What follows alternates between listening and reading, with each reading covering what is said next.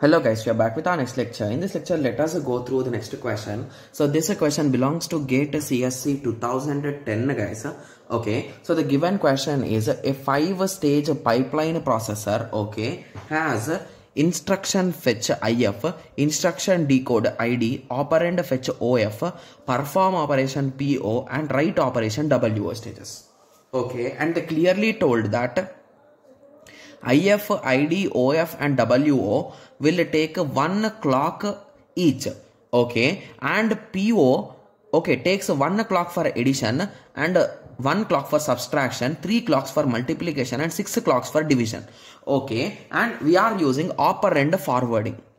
Okay and is used in pipeline what is the number of clocks needed to execute the following sequence of instruction? So let us first of all let us write those numbers. So multiplication will take 3 division will take 6 addition will take 1 subtraction will also take 1 right? Yes. So i think this question is a data dependency question. So if you observe carefully R2 is not having any issue here. So there is no relation between these two guys. So is there any relation with the above guys? Yes. So here R5 is there, here R5 is there. Similarly, here R2 is there, here R2 is there. Got it? Yes. So now let us start solving the question. If you recall, what is the best method guys? Start drawing the table for this I node, I1, I2, I3. Guys, if I recall, we have already solved this exact question in our course discussion, guys. So in our course discussion, I have took this question only from the PYQBs. Okay. Yes. So in that lecture, we have already solved the both the methods like forwarding and without forwarding. So that is the reason why here I'll be solving only the operator forwarding. If you want how operator without operating forwarding will work, you can just watch that lecture. Okay. Yes. So let us start okay so let us start writing the clock numbers. 1 2 3 4 5 6 7 8 9 10 11 12 13 14 15 16 17 18 okay and if 19 is there 19 will be enough there right? Yes. so anyway if you ask me 19 is also there. Got it? Yes. so let us start. Okay so first equation will never have issue right? Any issue because above him there is no one right? Yes. So it will take one. So let me write it here. So instruction fetch instruction decode operand fetch perform operation it might be 3 so according to my order only i'm writing 3 6 1 1 okay? And at the end we will do write operation. Okay? So let us start. So instruction fetch instruction decode operand fetch and three operations of perform operation. Perform operation perform operation perform operation write operation. So this part is done now right yes. So always remember that i node will never have any issue guys. It will run really really smoothly if you ask me right? Yes. So first of all let us check is there any relation between i node and i1 guys? There is no dependency no issue right? Yes. So it will also run smoothly. So here you will have instruction fetch. Here you will have instruction decode. Here we will have operand fetch okay so these three steps are done. Now coming on to perform operation the above i node is still running. So this cannot do perform operation yet. Here also it cannot do here it can do. And it is a six number. So p0 p, po po po 1 2 3 4 5 6 so in total six steps are done. So at the end it will do write back. So basically to complete until here it took 13 cycles guys. Okay? Yes. So let us continue okay so now we are done till here. So but if you observe here carefully so in between i2 and i3 there is a relation. So basically this i5 is being used here.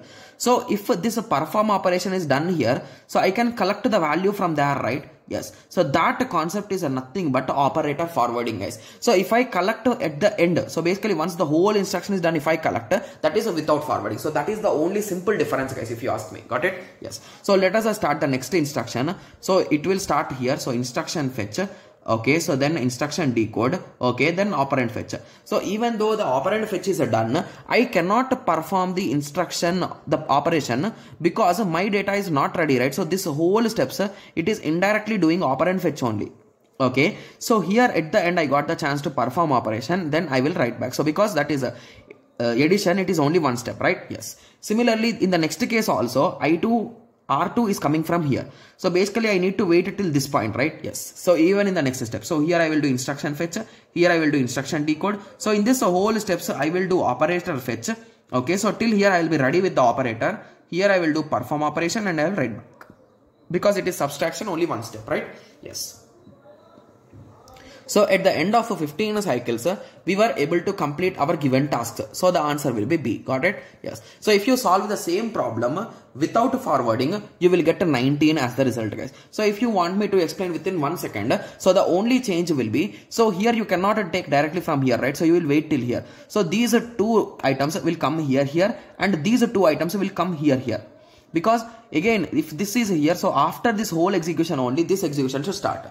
So at the end the structure will look in this way. So anyway i have book so anyway let me directly write it here. Okay? So at 13 you will have write back of this right? So at 14 the next instruction operation will be done. At 15 its write back will be done. At 16 this value will be taken by the next instruction. It will do perform operation. Then it will do write back. Okay? Yes. So at the end of a 17 clock cycle you will be getting the result. Got it? Yes okay. Okay sorry my mistake. So even this operator fetch will also come in between right? So here operator fetch will come here operator fetch will come. So this is 14 15 16 17 18 19 so it will take total 19 cycles guys. Got it? Yes. Because operator fetch is the most important step right? So for that only we are waiting right? Yes. So now i hope everyone got a clear idea right okay? So anyway if you are having any doubt with respect to this operator forwarding and without operator forwarding please watch the lecture data hazards guys. Okay? Yes. So i hope everyone got a clear idea. So in the next lecture let us continue with the next question. Thank you. Thanks for watching. Like share and subscribe for more awesome videos like this. Thank you